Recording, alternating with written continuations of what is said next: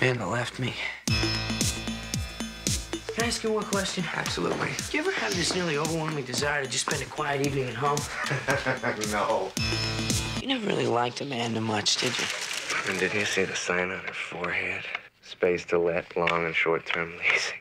We met in a bar. It was too dark to read. Amanda! Amanda! I want an explanation! New York City is full of aspiring actresses. And Awalinga was also Miss August. The one with the parrot. That's Inga. Have you slept with a lot of girls? Yes, Mom, there have been some girls. So what's your name again? Should I know you? Well, I haven't actually been published yet, but I've they have a couple of my short stories, you know, and got my fingers crossed. You seem to be unable to perform the duties required for this job. I screwed up. You've slept with girls that you haven't been in love with? Is it different when you're in love? Sure.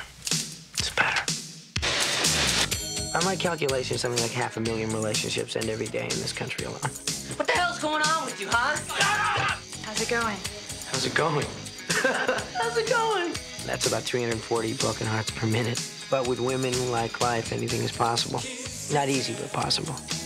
Bright Lights, Big City, from the acclaimed best selling novel